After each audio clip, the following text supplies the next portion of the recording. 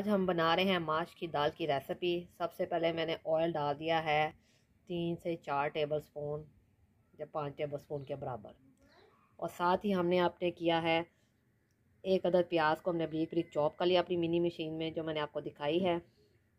जब लाइट ना हो तो ये बड़ी काम की आती है। और ये लहसुन अदरक को किया है हमने चॉप और साथ ही ये टमाटो को। दो अदर टमाटर है हमारे पास। अब रेसिपी की करते हैं तैयार सबसे पहले हम इसमें डालेंगे लहसुन अदरक। मेरा बेटा कहता है मैं मामा मैंने डालना है। चलो मैंने कहा डालो। डालो बिस्मिल्लाह करके। ये भी हम लहसुन अदरक को हल्का सा पहले फ्राई करेंगे ताकि इसका कच्चा पान अच्छी तरह ख़त्म हो जाए। मेरा बेटा कहता है मामा आज मैंने भी आपके साथ कुकिंग करनी है। ये देखिए आप इसके बाद ये आपने डालना है। इस ये जब इसका कच्चापन अच्छी तरह ख़त्म हो जाए। टमाटर डालना है। हाँ जी।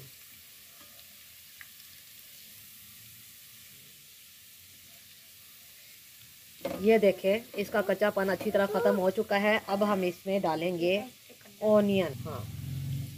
ये लो पकड़ो। डालो बेटा। सारे डाल दो।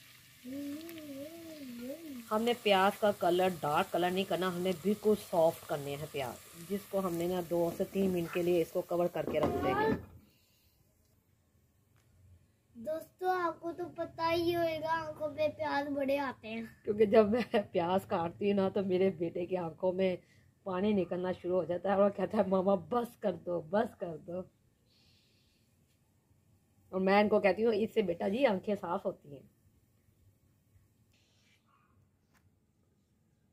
अब हम देखते हैं कि प्याज सॉफ्ट हो चुका है। अभी नहीं, बेटा अभी नहीं। ये देखिए, प्याज अच्छी तरह सॉफ्ट हो चुका है। अब हम इस वक्त टमाटर ऐड कर देंगे। बेटा डालो। सारे डाल दो। टमाटर की पेस्ट है अब इसको अच्छी तरह मिक्स कर देंगे।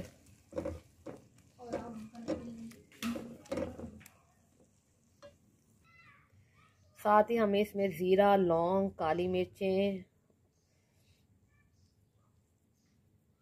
ऐड कर देंगे।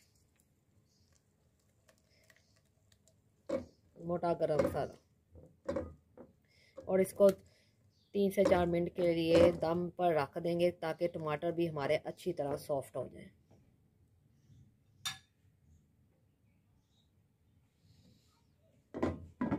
मिलते हैं तीन से चार मिनट की ब्रेक के बाद। अब ये तमाम मसाले हम इसमें ऐड कर देंगे।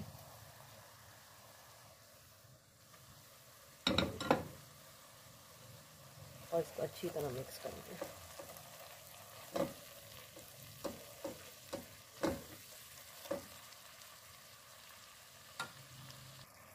अब इस मसाले में मैंने चार से पाँच टेबल स्पून तकरीबन पानी ऐड कर दिया है ताकि मसाला हमारा अच्छी तरह गल जाए। और उससे तकरीबन मसाले को हम 10 मिनट के लिए कवर करके रख देंगे। हमें तकरीबन 10 मिनट हो चुके हैं। अब हम देखते हैं कि हमारा मसाला अच्छी तरह तैयार हो चुका है। माशाल्लाह, दिल कर रहा है इस मसाले के साथ रोटी खाई जाए। ऐसे भुने हुए मसाले के साथ ना बहुत दिल करता है कि इंसान ना रोटी खाए। ये देखें, अच्छी तरह हमारी हर चीज़ गल चुकी है।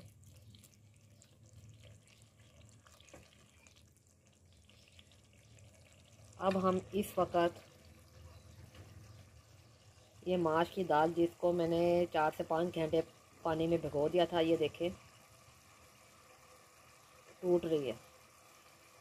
अब हम इसको मैंने बॉयल नहीं किया। आप चाहें तो इस, जब मसाला तैयार हो जाए तो बॉयल भी कर सकते हैं। सिर्फ़ अस्सी या नबे परसेंट आपने इसको बॉईल करना है, नमक डाल के। अब हम इस वक्त अपनी दाल को इसमें ऐड कर देंगे।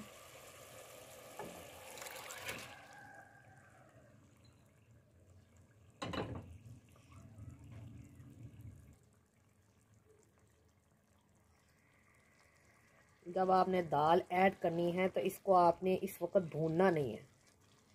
क्योंकि आप भुनेंगे ना तो बहुत टाइम लगा, लगेगा इसको गलने में। अगर आपने बॉयल की हुई है तो इस वक्त आप इस यहाँ भून सकते हैं।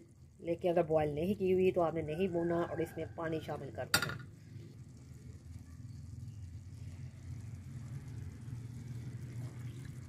तकरीबन एक कप के करीब।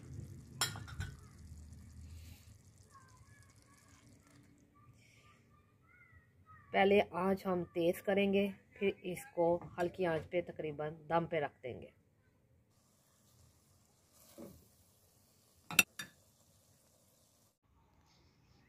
अब हम देखते हैं, देखें आपको नज़र आ रहा होगा, इस वक्त इसका पानी ड्राई हो चुका है। हमने इसको तकरीबन पाँच मिनट के लिए दम पर रख दिया था। अब हम देखते हैं पाँच मिनट के बाद देखें माशाल्लाह माशाल्लाह कितना प्यारा कलर आया है। दाल भी तकरीबन गल चुकी है। कलर देखें कितना माशाल्लाह अब इस वक्त हम डालेंगे अदरक और गरम मसाला और इसको डालकर अच्छी तरह भुनेंगे।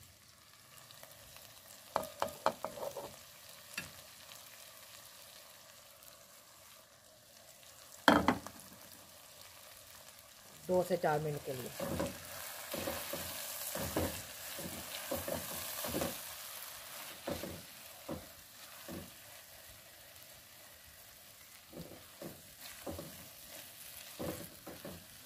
अगर आप तड़का लगाना चाहते हैं तो इसको अदरक और हरी मिर्चों का तड़का भी लगा सकते हैं। लेकिन मुझे नहीं इस तरह पसंद, मुझे तो ऐसे ही ना पसंद है। अभी ऐड कर देंगे थोड़ी देर बाद।